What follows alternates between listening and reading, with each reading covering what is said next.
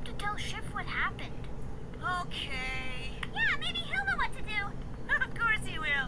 I mean, that's never happened before, but maybe this time, huh?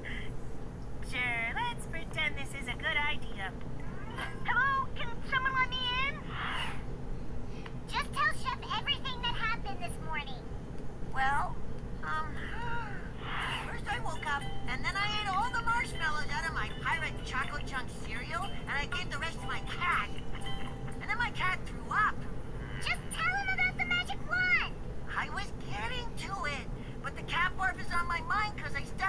still wearing that sock. Every time I shift my weight, I can feel the squishiness. Ew.